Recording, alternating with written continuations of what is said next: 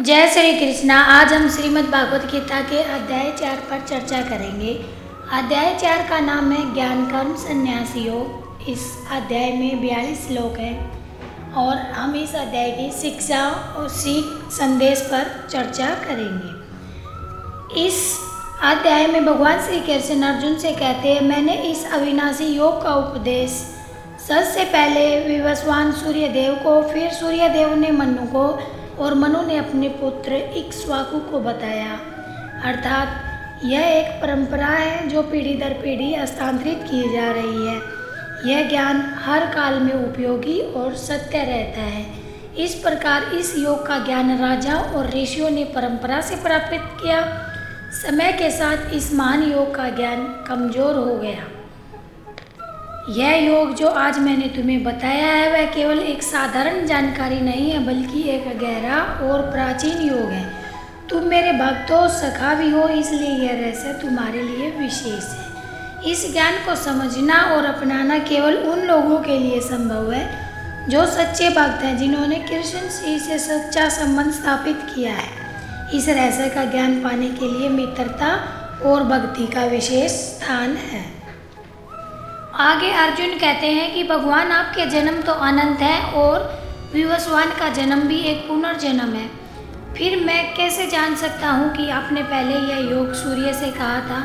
अर्थात अर्जुन ये चाह रहे हैं कि उन्हें यह समझा जाए कि कृष्ण का ज्ञान प्राचीन है और वह इस संसार में समय समय पर प्रकट होते गए। अर्जुन मेरे अनगिनत जन्म बीत चुके हैं और तुम्हारे भी कई जन्म हो चुके हैं। लेकिन मैं सभी जन्मों को जानता हूँ, परंतु तुम नहीं जानते। अर्थात कृष्ण अर्जुन को समझाते हुए कह रहे हैं श्री कृष्ण सर्वज्ञ हैं, उन्होंने कई जन्म लिए हैं, जिसका ज्ञान केवल उन्हें ही है। अर्जुन जैसे मनुष्य अपने पूर्व जन्मों को नहीं जान पाते। श्री कृष्ण अर्जुन को अपने दिव्य स्वभाव के बारे में बता रहे हैं कि मैं अजन्मा हूँ, मेरी आत्मा अविनाशी और मैं सभी जीवों का ईश्वर हूँ, फिर भी मैं अपनी प्रकृति के अधीन होकर अब अपनी योग माया से संसार में अवतरित होता हूँ। अर्थात वह जन्म और मृत्यु के चक्कर से परे हैं।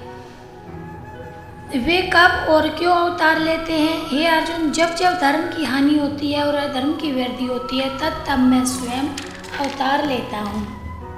अर्थात जब भी संसार में धर्म, यानी सत्य और न्याय कमज़ोर होता है और अधर्म यानी अन्याय और पाप बढ़ता है, तब तब मैं संसार में अवतरित होता हूँ। साधुओं की रक्षा और दुष्टों के विनाश और धर्म की स्थापना के लिए मैं युग युग में अवतरित होता हूँ। अर्थात जब जो संसार में असंतुलन होता है, तब तब मैं अवतार लेकर संतुलन करूँगा। जो व्यक्ति उन्हें सत्यता से जानता है, वह देह को त्याग कर पुनर्जन्म को प्राप्त नहीं करता, बल्कि मेरे पास आता है। केवल भगवान के दिव्य स्वरूप को समझने से ही इंसान जन्म, मृत्यु के चक्कर से मुक्त हो सकता है। ईश्वर की शरण में जाकर मन शुद्ध करके और अज्ञान से ऊपर उठकर ही हम अपने जीवन का परम लक्ष्य प्राप्त कर सकते हैं। अर्थात मैं सभी जीवों के प्रति, उनके समर्पण के अनुसार ही प्रतिक्रिया करते हैं।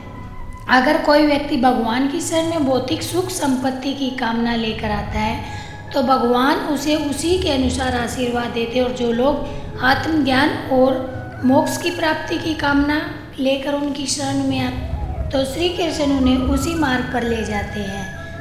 हर व्यक्ति अपने विश्वास और समर्पण के अनुसार ही ईश्वर से फल प्राप्त कर सकता है। ईश्वर व्यक्ति की भावनाओं और नियत को समझते हैं और उसी के अनुसार उसे परिणाम देते हैं। जो लोग कर्मों की सफलता चाहते हैं, वे देवताओं की पूजा करते हैं, क्योंकि इस मानव लोक में कर्म द्वारा, कर्मों के द्वारा प्राप्त होने वाले सिद्ध, सिगर ही मिलती है। जो लोग भौतिक सुख, संपत्ति और जल्दी फल की इच्छा रखते हैं, वे विभिन्न देवताओं की पूजा करते हैं, क्योंकि वे जानते हैं कि इन देवताओं की पूजा करने से उन्हें अपने कर्मों का फल जल्दी से प्राप्त हो सकता है।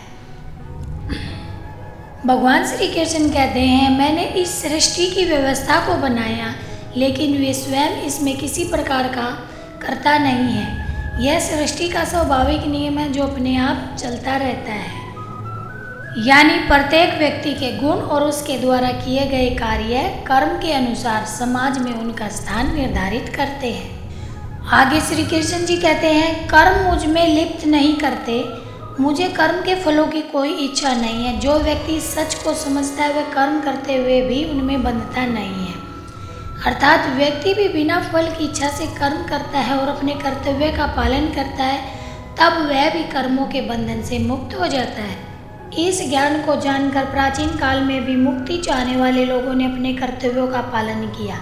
अतः तुम भी उसी प्रकार अपने कर्तव्य का पालन करो जैसा उन्होंने किया था। यह ज्ञान जो उन्होंने प्रदान किया कोई नया नहीं है। पहले भी जो लोग मोक्ष की इच्छा रखते थे, उन्होंने इसी ज्ञान के अनुसार अपने कर्मों का पालन किया है। श्री कृष्ण अर्जुन को कहते हैं कि उसे भी उसी तरह अपने कर्तव्यों का पालन करना चाहिए, जैसे प्राचीन काल के ज्ञानी और मोक्ष की इच्छा रखने वाले व्यक्ति करते थे। हमें सही कर्म का ज्ञान प्राप्त करके अपने जीवन को सही दिशा में ले जाना चाहिए। जीवन में केवल कर्म करना ही महत्वपूर्ण नहीं है, बल्कि यह भी जानना ज़रूरी है कि कौन सा कर्म सही है और कौन सा कर्म गलत है। कर्म और अकर्म का यह रहस्य समझना ही सच्ची बुद्धिमानी है, वही सच्चा कर्म योगी है।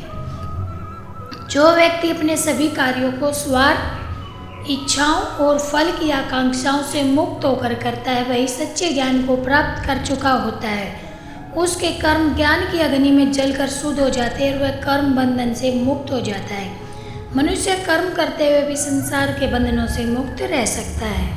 आगे श्री कृष्ण कर्म योग का महत्व बताते हुए कहते हैं, यदि कोई व्यक्ति अपने कर्मों के फल की इच्छा छोड़कर संसार में रहते हुए कर्म करता है तो वह कर्मों में बंधा हुआ नहीं होता।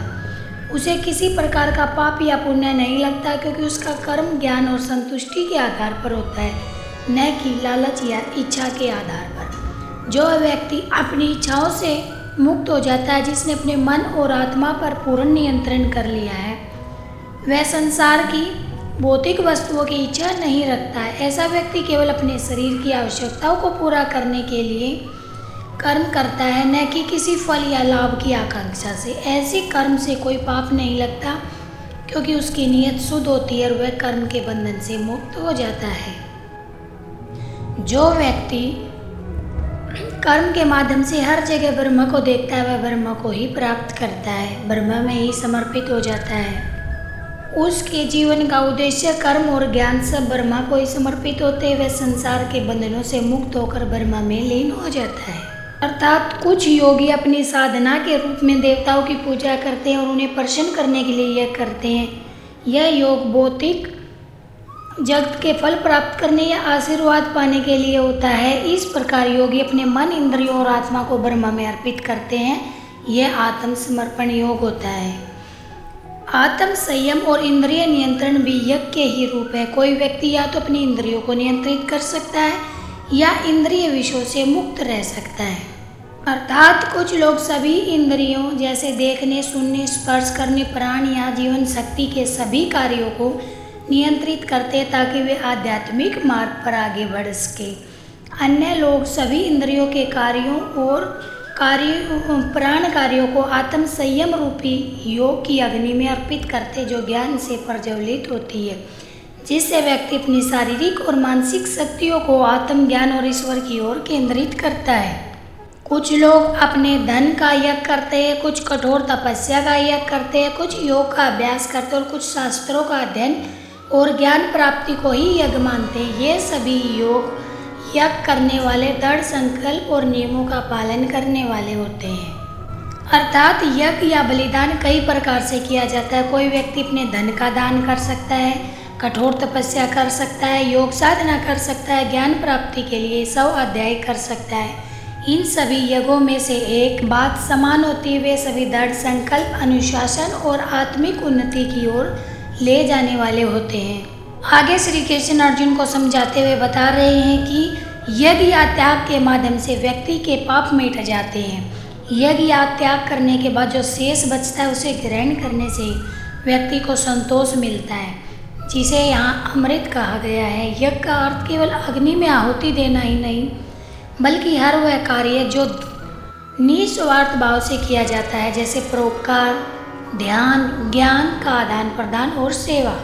अर्थात निस्वार्थ कर्म और त्याग के माध्यम से आत्मा की शुद्धि होती है।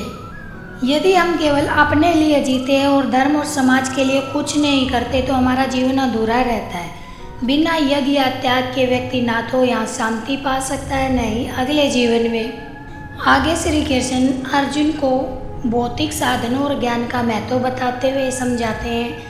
जीवन में भौतिक साधनों से बढ़कर ज्ञान का महत्व है। सही ज्ञान से व्यक्ति सभी समस्याओं पर समाधान पा सकता है। सच्चे ज्ञान को प्राप्त करने का तरीका सिखाते हुए अर्जुन को कहते हैं, उस सत्य को तुम गुरु के पास जाकर जानो, उनसे विनम्रता से प्रश्न पूछो, उनकी सेवा करो। वे तुम्हें ज्ञान का उपदेश देंगे। अर्थात गुरु के सामने सबसे पहले अपने अहंकार को त्यागो, पूर्ण नम्रता और समर्पण के साथ जाते हो तो तुम्हें ज्ञान प्राप्त होगा। सत्य ज्ञान प्राप्त करने के लिए सही मार्गदर्शन और सही दृष्टिकोण होना चाहिए। ज्ञान प्राप्त के लिए हमें गुरु के प्रति समर्पित सेवा और विनम्रता का भाव करके ही सीखने की जिज्ञासा रखनी चाहिए। सच्चे ज्ञान से न केवल मोह या भ्रम का अंत होता है, बल्कि व्यक्ति को यह अनुभव होता है कि सभी प्राणी एक ही आत्मा के अंग हैं, जो परमात्मा से जुड़े हुए हैं। जब यह ज्ञान प्राप्त हो जाता है तो व्यक्ति को सब में एक ही आत्मा और ईश्वर का अनुभव होता है, जिससे उनकी दृष्टि व्यापक और दिव्य हो जाती है। ज्ञान का महत्व बताते हुए भगवान श्री कृष्ण अर्जुन को कहते हैं, ज्ञान का महत्व इतना महान है कि वह सभी कर्मों के परिणामों को समाप्त कर देता है। ज्ञान की प्राप्ति से व्यक्ति न केवल अपने पापों से मुक्त हो सकता है, बल्कि अपने समस्त कर्मों के बंधन से भी मुक्त हो जाता है।